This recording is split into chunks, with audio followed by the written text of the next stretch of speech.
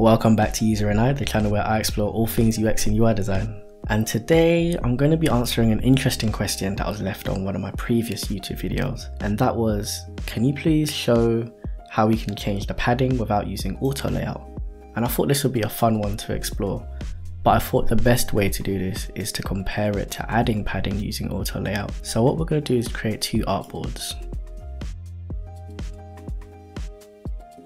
And I'm going to rename that one with auto layout and without auto layout. Oh, typo there.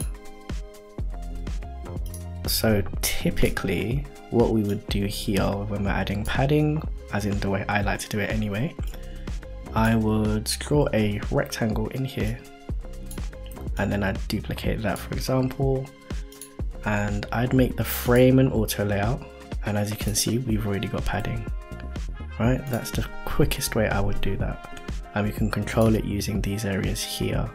We can drag on both of them and we can use independent core independent edges right? So that's the way I would do it for one with auto layout. But what if we wanted to do it without? And I thought that would be that, that's the most curious one right so I'm going to make this pink so we can see where the background is. And what I'm going to do is I'm going to press A and I'm going to create another frame within this one. And then I'm going to make that white. Now what we can then do is I'm going to center it just in the frame. And we can come down here and set the constraints to left and right and top and bottom. Now what that does is that it maintains the size of the rectangle or the shape in the middle exactly how we've drawn it. But one thing to be aware, you can change the width and the height of this and that will also stay the same. So it's possible with auto layout as you can see down here and it's possible without. I guess more questions come out of that because well what do we lose and what do we gain from creating an auto layout frame and not creating an auto layout frame. First of all, if we click on the frame, we immediately see we get these hovered areas and that allows us to change the padding as we want.